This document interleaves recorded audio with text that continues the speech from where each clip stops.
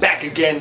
Know what it is, man. Stop it, be serious. Listen, I used to do a lot of stuff, called it um social sciences. Well, social scientists. I backed off for a minute, started talking about politics. You almost got me. You almost got me into talk about this bullshit, but keep it 100 with you.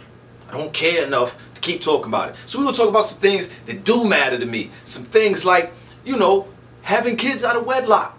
73% in the African American community are born to a single parent. Now, before you all run jumping out, uh, Just because you're born to a single parent doesn't mean that the kid's gonna turn out screwed up. you're right. And just because you drive on three wheels in a four wheel car doesn't mean you're not gonna get there. I'm just saying you get there a lot easier if you had all four wheels. But let's move past that. How can we fix that? Because it's not about the parents. Don't let your ego get you caught out there. Let's fix it.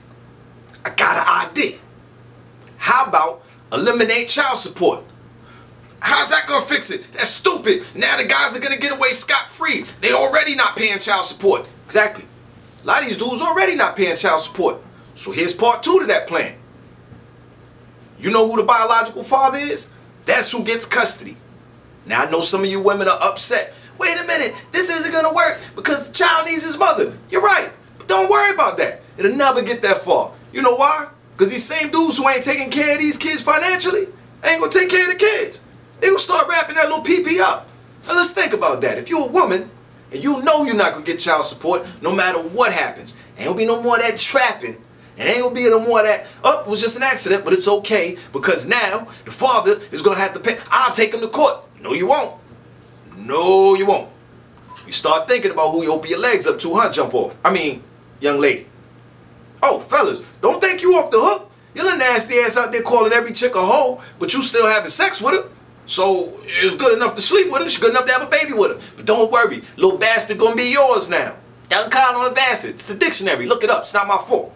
Stop it, B. Come on, man. Think without your dick sometime, fellas. And ladies, don't don't feed into what you're seeing on TV. It's not all a party, man. Kim Kardashian, if Kim Kardashian is the person that you idolize, you know, think about it. You make a sex tape, nobody wants to see that. The only reason we want to see her sex tape is because, well, she got cakes. Come on, man. Keep it moving. But the second part to that, social science. I'm moving on. I'm to fix some things that's wrong with the world. Second thing we're to fix is divorce. 50% of all marriages end in divorce. You know what I think you should do? Since the government's all in my business and want to tell me who can get married and who can't get married, where how I can get married and how I can't get married, Mormons can't even have, you know what I mean, more than one wife. That seems a little unfair to me. Seems like their rights being violated. Hell, Mitt Romney's family had to move to Mexico so they could marry five or six women at a time. That's right, Mitt Romney's Mexican. Anyway, moving on. What I'm saying is, let's eliminate divorce. You sign that contract, bitch. You keep that contract. Can't break contracts anywhere else. There's no other rules for breaking contracts. Only contract you can break is the marriage contract. I say stop breaking the marriage contract. Make them stay married. Then you stop jumping your little hot ass in there so you can get some bands. Bands that make her say yes? Yeah. Well, ain't no way for her to say no. I hope them bands will keep you for the rest of your life, heifer. You don't like these rules, do you? Stop it, B. Stop making fucked up life decisions, man. Stop asking the government to fix your problems. Make better decisions, you know I mean? And maybe you have some... Why am I even telling you people that? You don't care. This isn't comedy. You're trying to... Shut the fuck up. I'm having fun. Eat a dick.